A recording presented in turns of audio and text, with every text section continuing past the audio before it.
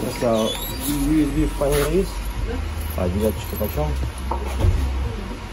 Сходим на Хачьяна. А, про наш понос нету, да? А если 18 15 ага. 1490. Спасибо. Здравствуйте. А, USB фанера есть? Да. Девяточка почем? 1050. 1050. А чья? Колевала. Ну, спасибо. А почем лист сейчас на, на миллиметровку? Миллиметровку? Ну, я лист а, обычно у вас беру листами. А? Ну, обычно один на один беру лист. Куда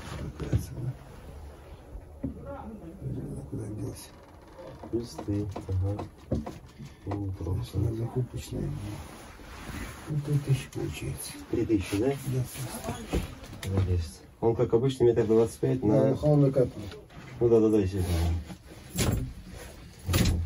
Ну, может, 200 рублей скинуть, здесь вот 2 800.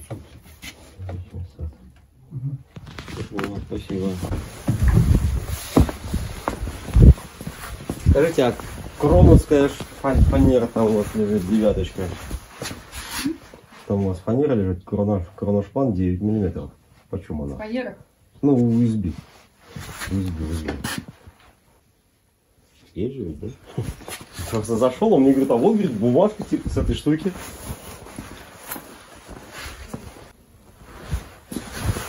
Ручка, 50 рублей на лапу. 900 рублей. 900 рублей, да? Да. Ну, собственно, собственно говоря, вы сами все, все видели только что, да? Какие цены? Фанера дорожает. Она в начале зимы была по 750 кроновская. Про Косторам-то я, конечно, молчу. Там-то барыги сидят лютые. Они там по 1800, как она у них стояла, так она у них так и стоит. А эта вот фанера, короче, дорожает. 870 самая дешевая, вот здесь вот 900. И то, видите, как надо. Надо ходить пинать. Реально, реально пинать надо ходить. Потому что, ну, а иначе никак. Иначе никто ничего не хочет делать. Вот. Никто не знает цены. Ну, как бы, это нормально для строительных рынков. Это же рынок. Вот. Ну, да и магазин такой же примерно, в принципе. А, поеду, поеду, куплю за 870 рублей и доставку себе. Вот, а, в гаражи. Вот. А, и да, я тут недавно, короче, был в гостях.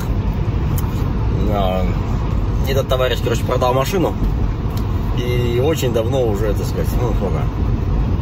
Ну, где-то, наверное, полгода за рулем не ездит. Ну, то есть своей машины нет, то есть бензин не покупает, ничего не понимает. Ну, Ты такой, ему такой, ну, блин, ну да, типа, типа, там бензин, короче, там по 54. Он такой, сколько? Я говорю, ну да. А сколько должен быть? Блин, я, говорю, последний раз заправлялся, когда он 46 еще был. Ну, то есть, да. Все дешевеет. Дешевеет, да, все дешевеет. Точнее, все, все это наша жизнь.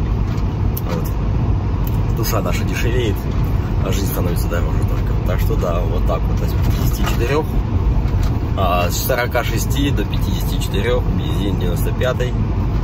Все классно, здорово и великолепно. Вот. Здорово всем, у нас с вами Кашкай первого поколения на обслуживание, ну, точнее, сказать, на замену колодок ручника и обслуживание направляющих суппорта, потому что, ну, направляющий суппорт очень закисли хорошо так, много очень грязи там, вот всякого такого, вот. Так что будем все это дело обслуживать и менять, делать будем. Э, Левое колесо я в прошлый раз снимал, разбирал.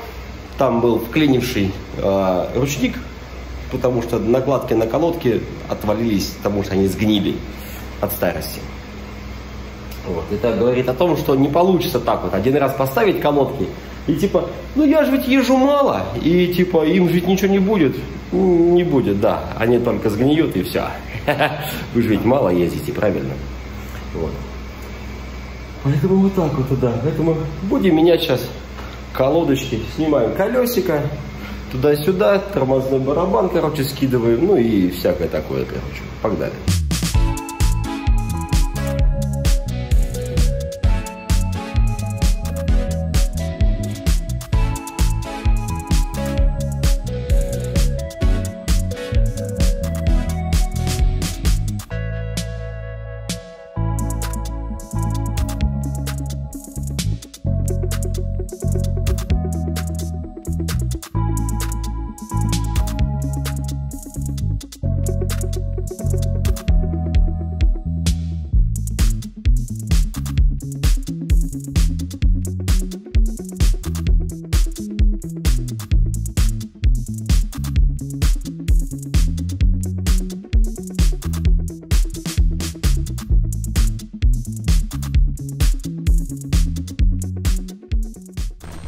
Итак, ребят, хотел бы я вам показать суппорт.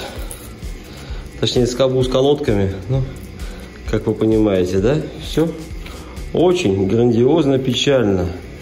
И вот таких вот тормозов, она даже не двигается, колодка. Я, я колодки даже не смог вынуть отсюда, потому что ну, проще было скобу снять, потому что все равно диск снимать. Потому что менять надо ручной тормоз, колодки ручного тормоза. И колодки тормозные надо тоже менять. Видите, как идет перекосило. Здесь, здесь больше материала, здесь меньше материала.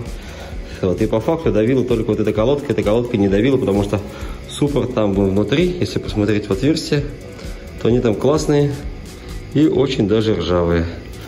Вот, сейчас замочим, оно постоит. Вот, потом почистим. Там внутри все. Скобу почистим. Вот, и поменяем колодочки, оставим пружинки штатные.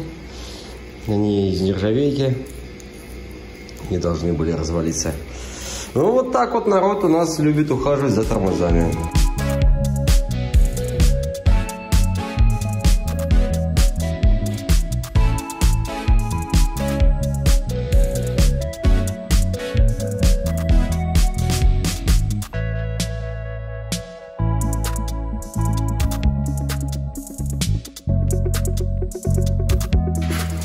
Сожалению, ребята, а, сборку заснять не удалось, но новые пыльники, вот почищенные направляющие, вот, новые колодки, все смазано, помазано, все почищено, скоба, ну, поскольку скоба отделяемая, она покрашена. И да, кстати, на вот этих вот машинах, я так понимаю, это болезнь, что вот так вот стоит э, шланчик тормозной. Это неправильная установка стоит у тебя правый стоит на левую сторону, а левый стоит на правую сторону. Почему? Потому что ваш ланчик смотрит куда? Правильно, напротив направляющего. А это говорит о чем? О том, что вот его будет очень геморройно вынимать. А если бы эти шланчики менять местами, то она бы смотрела бы не сюда, не вот в эту вот сторону, да, как она вот сейчас. Вот, видите, да? У нас, видите, вот он и он, они как бы низ смотрит туда, а вверх смотрит туда. А надо, чтобы низ смотрел сюда, а вверх смотрел сюда. И тогда все будет классно и здорово, да? Потому что здесь то же самое. Если левый поставить на правую сторону, а правый на левую, то шланчик будет смотреть туда. И все будет здорово. И ты, сможешь снимать спокойно э, направляющие суппорта. Ну, э, Nissan. Купил Nissan, но ты сам знаешь, что с ним сам, короче, делать. Давай. Так что вот так вот он. Так, ну а что, левая сторона? На синенькой и оранжевенькой пасте. Все новые колодочки, вся фигня.